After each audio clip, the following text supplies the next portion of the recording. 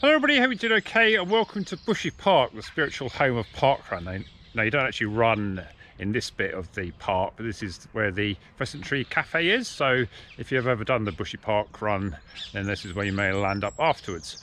Right, but today I'm going to be talking about the Endorphin Pro 2 here. This is in the Reverie colorway. I think that's because of all the purple and blue, not the checkerboard stuff there. So what I was primarily wanting to see is whether the Endorphin Pro is any different to the Endorphin Pro 1. So I put the version 1 shoe on my left foot and the newer one on my right. And having done a little run around the park here with version 1 and version 2 on my feet, and a version 2 run the other day quite hard, I'd have to say that there's very little difference at all. So perhaps you could stop watching the video now and if you can pick up the version 1 uh, cheaper than you can the version 2 then maybe that's the way forward. But we'll do another little run do a bit of filming on myself doing a few sort of strides and stuff and then we'll have a look a more detailed look at the actual differences and also do a spot the difference competition. I think to be honest this is a bit of a cheat from Saucony. I think there may be an upper update for some people. It did feel like to me when i put the v2 on it felt fitted a bit wider but it's the same foam. It seems to be the same feel. Maybe it's just a way of making shoe youtubers pay 190 pounds so that they can tell you exactly the same as the first version. So there you go. Right let's get on with this run then and see if i can actually detect anything worth talking about that's actually different here. Okay, so here's the two shoes on my feet, version 1 here on the left and version 2 on the right. So the first thing I kind of noticed straight away is that the fit of the version 1 seems to be a bit narrower because definitely see that I've got the eyelets further away than here. When I first put on the V2 the first thing I did was tie these up quite tight. And you see there to the point that it's fairly near to touching. Whereas there that's sort of a much more sort of good fit for me so looking at the difference between the uppers, well, it does seem to be fairly similar. There's clearly a slightly different configuration of where the little perforations are there. It does feel slightly different across the toe box here. It feels a bit firmer around the top here, whereas this is just a bit sort of flappier, I would say. Maybe that might impact your fit, a bit like in the Rebel 2 that I mentioned the other day with the reinforcement there, but I've got a nice sun width there in the, both of these shoes, so I'm not having any issues at all. In terms of the tongue, they're both still a gusseted tongue, which I'll show you when I take the ones off in a moment. But you've got this little flap here on the new one. It's almost sort of like a sort of a semi-pull tab. And then you've got this little bit here, which I'm not actually using, which presumably allows you to put your laces up, thread them through. Not sure that it's serving a great deal of purpose otherwise, where well, that one there is almost a bit further up actually, doesn't it? You can see that's still there. But again, you see, I notice I haven't been using that one. What I've also noticed, there's one less eyelet on the new version.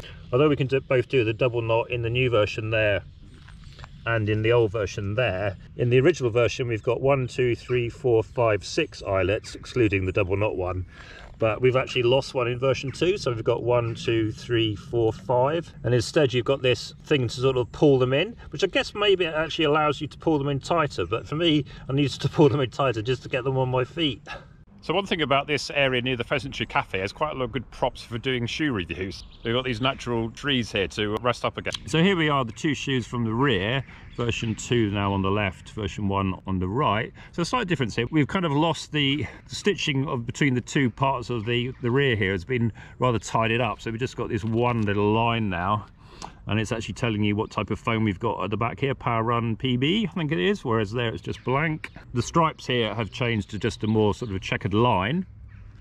And again you've got this little bit here which again i'm not entirely sure what that's doing whereas you don't have that here. Maybe it's just a bit of tidying up of the stitching maybe behind that. If we look at the two shoes from a side on view I'm really not seeing any great difference there at all. I don't think there is, certainly when I've just been running around. I mean, obviously we've got a different colorway here. Um, you've got it's like a two-tone colorway now in the new version, whereas the old version here was just a single a layer of black with a greeny base. Now we've got the white base, but I think fundamentally that's just still the same. Obviously we've got Endorphin Pro 2 there, whereas the original one, Endorphin Pro with no one on obviously,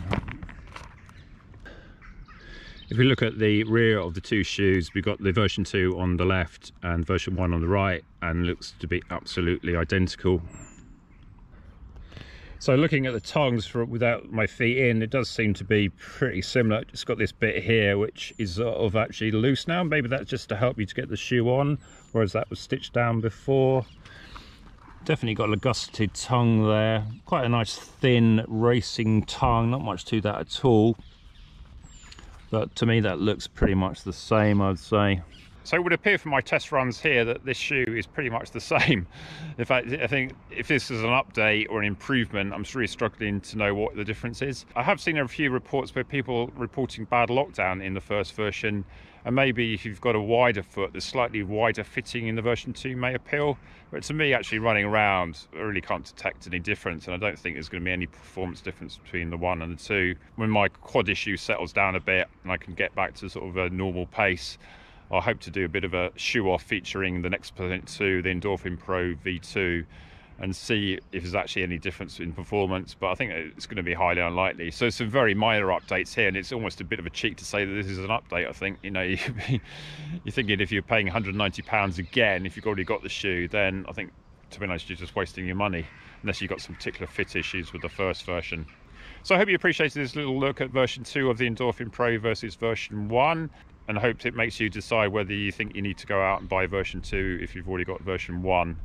Well, I was also say that I've done about 60 miles in version 1, so they're definitely good to go for a lot, lot longer yet. And version 2 looks like it won't be any different in terms of the longevity of it. I'm probably get these to around about 200 miles eventually. I do rather use them for tempo runs rather than races, but uh, maybe one day on a low-key park or something when they come back, maybe even in Bushy Park, could actually test them out and see how they feel.